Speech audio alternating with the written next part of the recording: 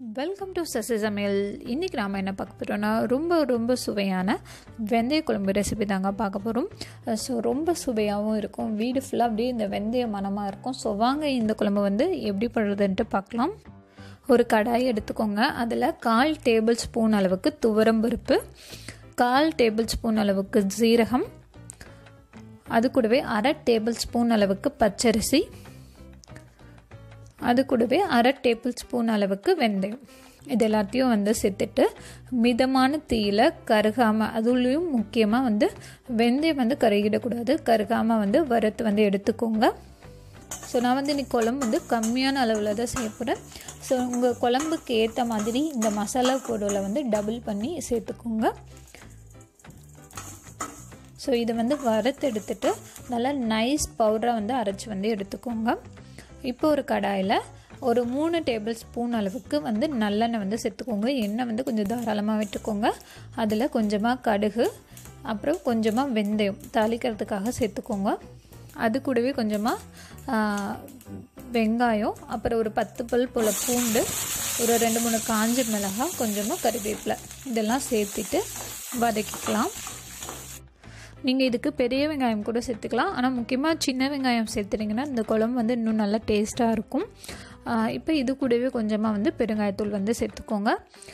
கட்டி பெருங்காயமாக இருந்துச்சுன்னா நீங்கள் வந்து எண்ணெயில் வந்து கடுகு வெந்தயம் தாளிக்கும் போதே வந்து கட்டி பெருங்காயமாக இருந்ததுன்னா அப்போவே சேர்த்துக்கோங்க. ஸோ கொஞ்சமாக பெருங்காயம் சேர்த்துட்டு அதுக்கப்புறம் ஒரு தக்காளியை மட்டும் சேர்த்துக்கோங்க. தக்காளியும் சேர்த்துட்டு நல்லா வந்து வதக்கி விட்டுக்கோங்க. இப்போ இந்த குழம்புக்கு வந்து தேவையான அளவு கொஞ்சமாக உப்பு வந்து சேர்த்துக்கோங்க. ஸோ உப்பு போட்டு வதக்கும் போது இந்த தக்காளி வெங்காயம் எல்லாம் வந்து நல்லா வந்து வதங்கிடும். ஸோ ஓரளவுக்கு இது மாதிரி நல்லா வதங்கினதுக்கப்புறம் இது கூடவே குழம்புத்தூள் வீட்டில் அரைச்ச குழம்புத்தூள் வந்து நான் ரெண்டு டேபிள் ஸ்பூன் அளவுக்கு சேர்த்துக்கிறேன். அப்புறம் கொஞ்சமாக மஞ்சள் தூள். எங்கள் வீட்டு குழம்புத்தூள் வந்து காரம் வந்து கம்மியாக தான் செய்வாங்க. அதனால் வந்து அது கூடவே தனி வரமிளகாய் தூள் கொஞ்சமாக சேர்த்துக்கிட்டேன் நான். உங்கள் வீட்டில் வந்து குழம்பு மிளகாய்த்தூள் இல்லை அப்படின்னா தனி மிளகாய்த்தூளும் மல்லித்தூள் மட்டும் சேர்த்துக்கலாம். மல்லித்தூள் வந்து ரெண்டு மடங்குனா வரமிளகாய்த்தூள் வந்து ஒரு மடங்கு. அந்த மாதிரி சேர்த்துக்கோங்க. ஸோ இந்த மசாலா வந்து எண்ணெயிலே ஒருக்கா நல்லா வதக்கி விட்டுக்கோங்க. இப்போ இது கூடவே நம்ம வந்து கரைச்சி வச்ச புளி தண்ணியை வந்து சேர்த்துடலாம். நான் வந்து சின்னதாக ஒரு லெமன் சைஸ் அளவு புளி வந்து ஊற வச்சிருந்தேன். ஸோ அதை கரைச்சி சேர்த்துக்கோங்க.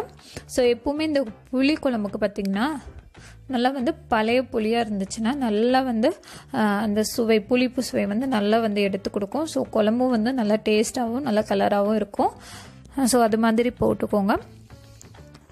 ஸோ குழம்பு பார்த்திங்கன்னா நல்லா கொதித்து ஓரளவு திக்காயிடுச்சு இந்த ஸ்டேஜில் நம்ம ஆல்ரெடி வறுத்து அரைச்சி வச்சுருந்த இந்த வெந்தயம் பச்சரிசி இதெல்லாம் சேர்த்துருக்கோம் இல்லையா? அந்த பொடியை வந்து ஃபைனலாக வந்து சேர்த்துக்கோங்க.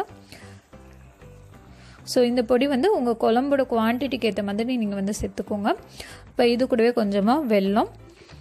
இதையும் சேர்த்துட்டு நல்லா எண்ணெய் பிரிஞ்ச வரைக்கும் நல்லா கொதிக்க விடுங்க. ஸோ பாருங்கள் நல்லா எண்ணெய் பிரிஞ்சு வந்துடுச்சு. இந்த ஸ்டேஜில் கொஞ்சமாக வந்து நல்லெண்ணெய் வந்து சேர்த்துக்கலாம்.